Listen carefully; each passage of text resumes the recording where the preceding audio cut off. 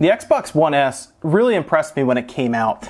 It was much smaller, as you can see, obviously, than the original Xbox One that came out. That looked almost like the size of, probably even larger than some VCRs when they came out. Uh, but they managed to shrink down the Xbox One heavily, like heavily. I will say, when I would open Xbox Ones, the original ones, there was a lot of empty space inside. I pretty much looked at it and realized, yes, they can easily make this into a much smaller system.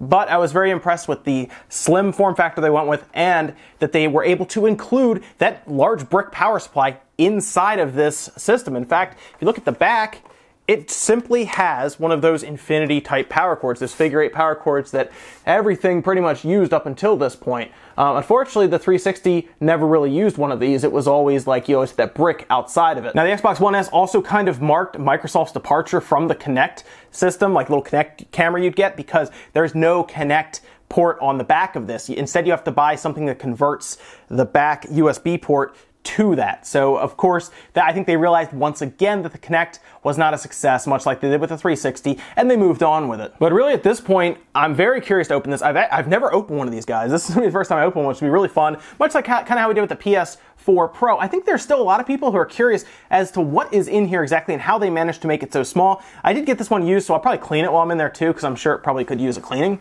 Um, but this is, I think this is the blue special edition. I think it was a Gears of War bundle that came out.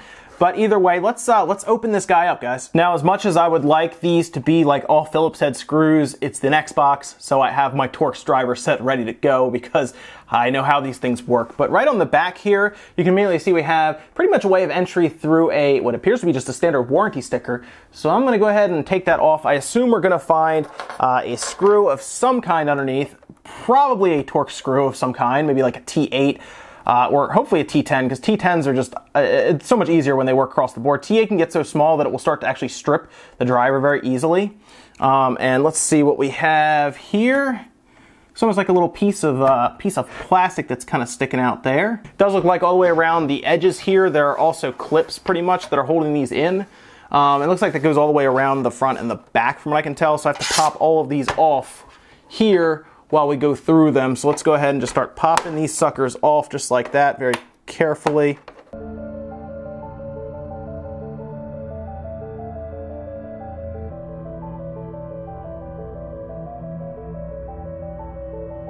I pretty well by those.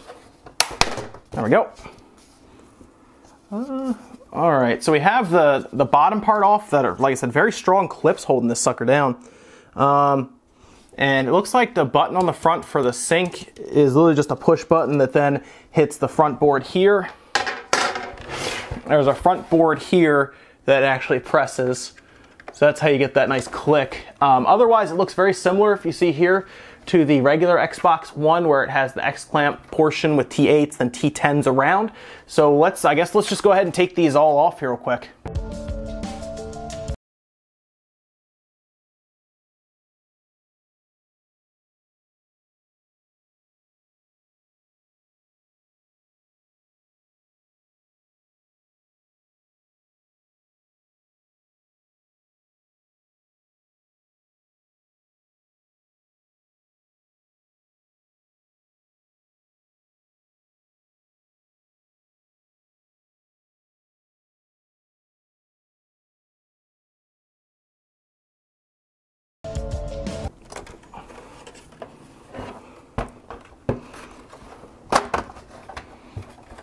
Looks like when you get kind of these screws out, which I assume are mostly the long ones, hold that in, the top portion in, the top portion becomes very loose like you see here. So this should just kind of pop off. Um, again, there are some clips holding it down around the edges and especially on the front because remember there is that faceplate kind of on the front so you want to be careful there. And then it looks like there's just a few clips there holding it down. So the top portion is now freed. Um, this is where you might be able to take the time if you have like one of these Xbox Ones or even an older one to kind of clean up the vent here because you can notice even in the camera the dust that kind of accumulates there. And that's because of the way the fan works where it happens to push air through that and you end up with some dust follicles in there. So just, just a little take a toothbrush to it, just a dry toothbrush and clean it right up. Not a problem. So from there, we can actually see our pretty large fan here. Um, the Xbox One, the nice thing about the Xbox One is they went with a large fan that spins at a lower uh, the lower speed, and that's why the Xbox Ones tend to be kind of quiet, to be honest. Like it's uh, sometimes they're surprisingly quiet. Uh, the Slim is no exception. It's it's it's not loud at all. So um, fortunately, I took off all of those screws, and we can lift this up. Uh, I'm trying to figure out if it's like okay, so it's different. The other Xbox One has a cable that uh, you have to be careful to pull out. So here we go. We're inside, and I can see right away we're using a Seagate hard drive. So it's um, some people may think that's good, some may think that's bad. Uh, that's actually a Seagate hard drive there, two and a half, 500 gig. Of course, this is always the problem that people have with the Xbox Ones is that if your hard drive dies, you're kind of in trouble because it's pretty much impossible currently to replace these, uh, or at least it's not easy. And obviously, Microsoft does not want you to go through all of that. And hard drives are prone to dying. It's not obviously unheard of for a hard drive to die. In fact, it's borderline common. So let's, uh, I guess let's start pulling this out. The hard drive is already kind of free because the screws that go through it hold it down. So that's the first thing I'm going to remove here is the hard drive. Looks like it's held in with basic SATA and then of course a proprietary power cord that runs to the adapter here. Um, nothing too crazy and of course it is held in with screws on the back. Now, the interesting thing about these is, like I said, it is possible. So you could technically replace it with something like a, uh, like a solid state drive, for example. Um, but going from there, let's see what else we have. We can probably start looking at the power supply. I do know the drive usually is not is not held in well either. That usually floats and is kind of uh, dependent on those screws. All these screws I took out here, specifically these long ones, to hold it in. So with that, I guess we'll try to pull this drive out right here, guys. Um, let's see. Yes, okay, yeah, so that does become free right away if I pull on it. So there we go. Same deal. Um, it's using a proprietary power cord and then a standard SATA cable. I do like that it was mo it's mostly SATA now. That's great because before it was some crazy cables back and forth to make that work. Um, and looking at the front board where, so the way this works on the front here, you have this full board. This is the faceplate board. Uh, some people like to talk about it as being like the, the ring of light board or whatever it was on the 360. But this has your RF chip here that connects to your controllers for the most part. So let's take this guy off. Looks like there's four black screws, very similar very similar to the ones that would be uh, holding those that X clamp down, the ones I took off already. So be careful not to get those mixed up, obviously. So I'm gonna take that off real quick. Four screws, real fast.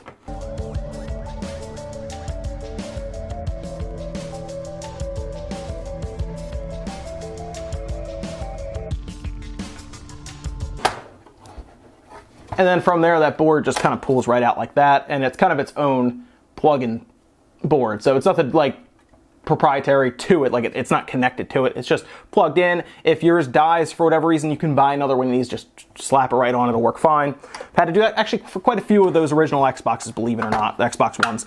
Um, from there, it looks like we can probably get to the, actually the power supply also was dependent on those screws. Never mind. There's not much holding it in. Um, I do see just a standard, uh, oh wow, that's, Oh, that's interesting. Let's take a look at this real quick because it looks like it's simply using one power cord. It's not using, usually what you'll do is you'll have kind of two spikes coming out to control like the heavy ground and the heavy, uh, the heavy 12 volt. This does not have that. It looks like it's pretty much dependent on a single power cord, which is actually a little surprising to me. Now, there's no, oh man, they always do this. They put a clip like this happens a lot. The clip to release is on this side, so to get in there, it's a pain. You have to use some kind of tool. In this case, I'll just use, I guess, a, I guess a, a screwdriver to kind of push down on it. I just, I just don't like when they do that. I know they don't think a lot of people will be in here, but still. So this is the entire power supply now. Um, again, shocking, because if you keep in mind, the power brick that we had on the old one was massive. So let's take a look at that in camera two, and you can see just how, like it's tiny now. That is the power supply. So again, good on Microsoft for making this happen. Um, what do we have here? It's a, uh, do, do, do, 12 volt 10 amp. So it's a 12 volt 10 amp power supply. Um, that's pretty strong. That's not a weak power supply, but it's it's so small. They did such a good job with making everything here smaller. So good for them. Down now to the to the last part, which of course is our fan and our chip. Now to get this board out, it should mostly be free for the most part. Um, sometimes they kind of sneak a screw in here or there. Of course, we have to take the Wi-Fi board off. I don't know why I forgot about that. Uh, Wi-Fi board right here. This is what controls, of course, your internet connection, things like that. I'm a little surprised they don't have any antennas coming off because the other one they used antennas, um, but I guess they just don't need it for this uh, this particular model. So let's uh, let's get this guy unscrewed real quick. Three screws, of course, not very long. Um, seem to be very uh, very standard screws, much like the ones that uh, that are used in the X clamps, and of course the front faceplate board. Yes. Um, so it seems like they only really had to use three screws for this entire uh, tire setup actually, which is also good. The less, the, the, like the easier you can keep it by making the screws the same. One, they'll save in manufacturing costs, obviously, and two, it makes my job easier not to have to go scrambling for drivers. In this case, I've only really had to use two, a T10 security and a T8 security Torx bit. So um, I'm very happy when they decide to do that. I mean, in a perfect world, obviously, it would be all Phillips heads and I wouldn't have to be doing this. But you know what, if Torx is cheaper for them to get on a manufacturing standpoint, I'm fine with it. Not that big of a deal. Just run out to Lowe's or Home Depot or hardware store and get a set and you're good. Um, of course, security bit of course, are the ones that have the, like the tiny little dot hollowed out. So make sure you get the right ones. So a lot of people forget about that. Um, all right, so we're good on that. Um, this again just pops right off, very similar to that front faceplate board. So we're good on that as well. Let me put that over here with that faceplate board. and now I'm trying to see if there's anything else really holding this. Nope, okay. Piece of plastic that just holds the front. Uh, again, uh, to accommodate the screws that go through the front. I'm just double checking around here to make sure there's nothing crazy. In this case, we do have a USB port going through the front here, so we have to be careful. The back has to appears to have to come up first, and then that'll slide out. So always make sure you're keeping an eye out for anything like that. You can see this USB port actually goes through and the metal, if you try to rip it out from the front, you could damage that USB port. So in this case, we want to go from the back up. So let me just double check to make sure there's no screws anywhere we're missing. No, we are good. So I made a mild discovery while I was trying to get this board out. There, this front clip on the front that I thought was part of the case is separate, holding that front USB port in. It actually pops out, and then you have a path for that USB port, and that's what this whole thing was basically being held in by. So after popping that out, um, it's coming right up, and it's now free. So the full motherboard is now out. The case is off to the side now, and we can get a look at this motherboard, which looks honestly very similar to the regular Xbox One motherboard. It does not look that much different. Um, we do have our south bridge here, which is very large. These do tend to go bad though. Uh, I've actually had to replace and reball a couple of these. And we have our entire setup here. Let me pull this fan up and then we'll take a look underneath.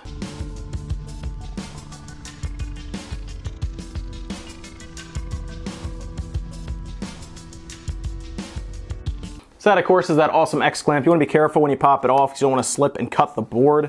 And here we go. This just comes right off there. The big fan is free. Now the way it works, obviously it has like a fin array here and then a very large surface. It's mostly aluminum with copper pipes going through that then of course the fan just cools straight up there. This one's surprisingly clean compared to what I, what I thought it would be when I first uh, got this entire system. Here we go. The compound is noticeably dry, which is kind of surprising because this is not an old system. This bundle I think came out in I want to say October. Um, so this is not an old system right away. Um, but the chip is right here. Let me get some stuff. We'll clean this off and then I'm going to replace it with some MX4 just to help it out a little further. So I managed to clean up all the old compound uh, pretty well actually. Just, you know, you can use either an old shirt, for example, that's mostly cotton, or you can use tissue paper or toilet paper. Any of that stuff works. But the old chip itself, uh, the new chip that's on here is pretty small. Um, compared to like the regular Xbox One chip, this is very small. They did a great job shrinking this system on a chip and making it that much smaller while increasing the frequency on it. So I have to give them props for that. That's actually pretty cool, um, engineering wise, for them to do that. Uh, otherwise, though, what we have here is pretty straightforward. We have all of our RAM surrounding this chip because you can see all the traces here have the chip accessing all of that memory going around it. So they opted for a lot of small chips. Now, of course, this should be 8 gigs of DDR3 memory, so you can see the amount of modules around it that they split it into. And if you look at like a uh, memory stick, these are the modules that are on that, because you can tell this is more system memory than, say, GDDR5, which if you look on, say, a PS4, you'll see that they look a little different. Now, these are, uh, after counting, these are 16 uh, memory modules, so I would assume they'd be pretty much 500 megabytes each to give you uh, 8 gigs. And uh, again, that just helps because the CPU can at least access several memory modules at once to make it work at least close to the PS4. I mean, the PS4 has faster memory by a good bit, but the Xbox One can at least still hold its own in most cases with lowered resolutions. So with that, guys, I'm going to add this compound back on, and then I'm going to fully reassemble this thing, and we'll check it out, make sure everything still works. So let's let's get that done.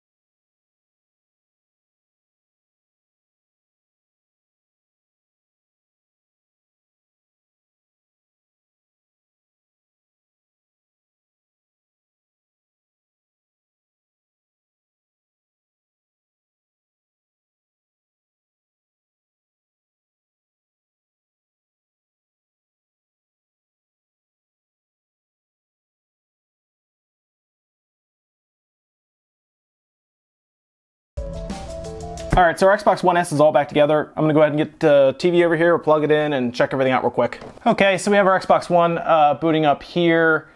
Now, of course, the Xbox One takes forever to start up, which can be kind of annoying, but uh, fans running. I can hear the hard drive spinning up now, so everything seems fine. I just wanna make sure it gets to the menu because there can be errors beforehand if there is an issue, and we're in. There's Phantom Dust. Yep, I was just doing Phantom Dust. then there you go, guys. Controller synced up. Um, everything's good. So yeah, that's the Xbox One S. Uh, again, the I guess the the slim version of the Xbox One. This is the Blue Gears of War edition. I hope you guys enjoyed a look inside this thing. It's kind of cool to see how they're able to shrink it down and make that power supply seriously like like tiny. It's very cool to see that kind of stuff. The chip is much smaller, and the system overall is just more efficient. Does not pull as much power. So. That's great. Uh, I hope that the Scorpio is still a similar form factor. If it's larger, that's fine. I just I like the sleek and, and the much smaller Xbox One S as opposed to the very large Xbox One. That's it for now, guys. I will see you next time.